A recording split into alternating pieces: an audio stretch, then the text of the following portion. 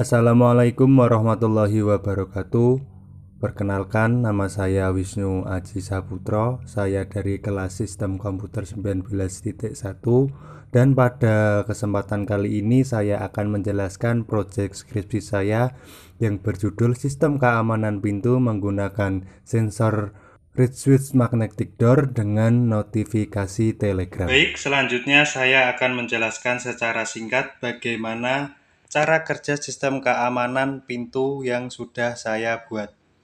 Langkah yang pertama kita melakukan scan kartu ke sensor RFID. Dan ketika saat kita melakukan scan seperti ini, maka secara otomatis di sini tuas solenoidnya akan tertutup. Atau tuasnya ini akan masuk ke sini seperti ini Nah, seperti ini. Karena solenoid ini mendapatkan tegangan dari relay dan juga adaptor 5 volt. Dan di saat di saat yang bersamaan uh, sensor magnetic switch ini akan mengirimkan notifikasi pesan ke Telegram bahwasannya pintu terbuka. Dan nantinya untuk mengetahui uh, pengakses atau pengguna saat itu, maksudnya pengakses pintu pada saat itu, itu akan diketahui lewat web yang sudah saya buat. Nah, data-datanya itu sudah ada di web. Ketika kartu ini sudah terdapat di web, saat melakukan scan seperti ini, nantinya akan secara otomatis di webnya juga akan mengirimkan uh, data pengakses dan kita bisa mengetahui siapa pengakses tersebut. Jadi saya tidak hanya mengandalkan notifikasi saja, tapi juga membuat web untuk mengetahui siapa yang mengakses pintu di waktu itu. Baik, uh, saya akan melakukan sedikit percobaan untuk melakukan scan ini. Ketika uh, kita melakukan scan, seperti ini pintu akan terbuka dan buzzer di sini tadi berbunyi dan lampu LED ini akan menyala karena pintu terbuka seperti ini dan sensori switch ini akan mengirimkan pesan ke Telegram akan muncul notifikasi bahwasanya pintu terbuka. Dan pada saat nanti pintu ini ditutup kembali seperti ini, maka akan ada notifikasi bahwasanya pintu tertutup.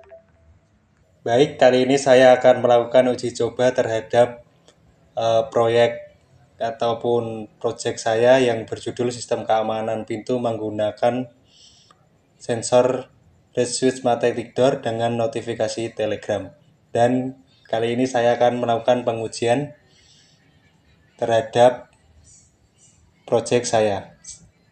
Yang pertama saya akan uh, tempelkan atau scan ke scankan kartu ke sensor RFID. Seperti ini, maka sensor akan membaca kartu ini dan pintu akan terbuka. Dan di saat itu juga terdapat notifikasi di Telegram bahwasanya pintu terbuka.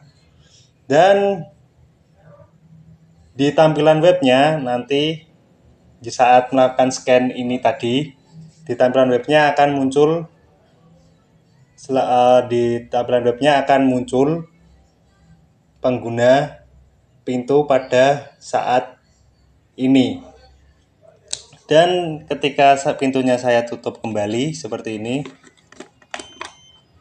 maka akan ada notifikasi di Telegram bahwasanya pintu tertutup. Baik, kali ini saya akan sedikit menjelaskan uh, tentang menu monitor user yang ada di web saya dan menu monitor user ini digunakan untuk melihat siapa yang mengakses pintu pada saat itu. dan di sini sudah ada beberapa kali percobaan sebelum saya membuat video ini dan di halaman yang terakhir atau di halaman 7 itu adalah uh, halaman paling terbaru dan di nomor 69 ini dan 70 maka terdapat siapa pengakses pintu pada saat itu. Dan di sini ada nama usernya ada tanggal masuk dan ada jam masuknya itu jam berapa.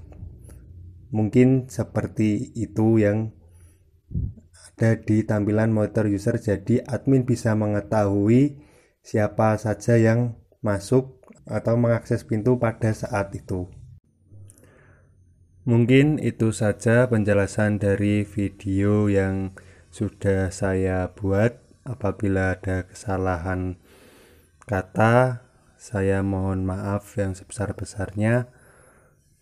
Terima kasih. Wassalamualaikum warahmatullahi wabarakatuh.